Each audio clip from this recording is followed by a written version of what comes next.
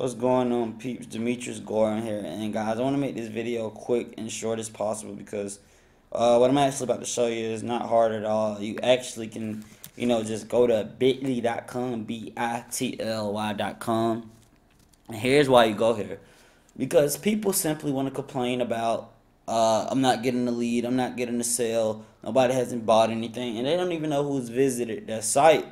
All right, and the reason why you need to use this guy, so when people actually find you on Facebook, when they come to your blog, you gotta know exactly where you're getting your clicks from before you inbox me complaining about uh, why people are not entering that email. Well, guys, simple as this: if you're promoting this as a business opportunity and you're putting this in front of people who never seen this before, why would they be so quick to enter that email? And considering the fact that people are getting spammed every single day from people they never heard of before.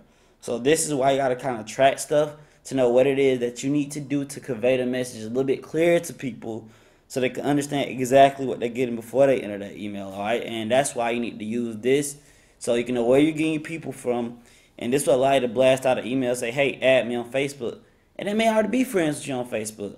And that will allow them to say, inbox you and say, hey, what's this MCA thing? And then boom, you put them back in front of the capture page and you know, this time they may join because this is like their second time seeing it. You know, considering the fact that the blog is at the top of the search engine, okay, this is my third time seeing the same team. This is must must be the team to join the MCA. All right. So guys, track your clicks and know exactly how to uh, talk to people. You know, when they inbox you or email you, because you're gonna know exactly where they came from. So, uh, I hope this video helped. Peace.